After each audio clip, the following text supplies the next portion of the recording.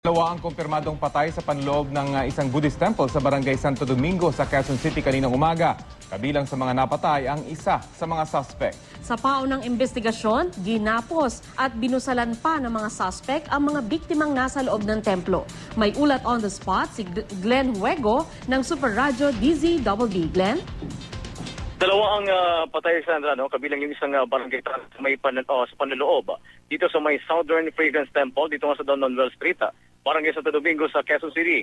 Sa kwento ng isang residente sa temple na si Patricia Yu, 5.45 ng uh, madaling araw kanina, nang mapasok sila ng dalawang suspect na parehong armado. Hindi na sila nakapalagpa dahil nga tinutukan sila ng barel. Anya, iginapos sila ng kanyang pamilya at binusalan bago pinagkukuha yung kanilang mga pera at gadgets. Nakatawag naman sa barangay ang isa nilang kasama sa temple matapos marinig yung tensyon sa kwarto ng pamilya Yu.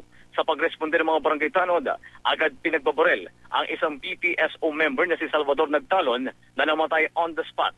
Sa pagtakas naman ng dalawang suspect, nagkataon na nagpapatrolya ang mga tauhan ng Station 1 ng QCPD at nakabarilan yung mga kawatan kung saan namatay ang isang suspect sa may AIB Street, limanda ang metro ang layo sa may templo habang naaresto naman yung isa pa.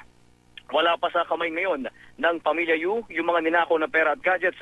Pero naghihinala silang naipasa ng mga sospek ang mga ito sa isa pa nilang kasabwat na nagsilbing lookout sa krimen. Sa pinakahuling informasyon ng Super Radio DZBB, hinahunting na ngayon ng mga tauhan ng QCPD ang sinasabing kasabwat o yung lookout sa krimen. Sandra?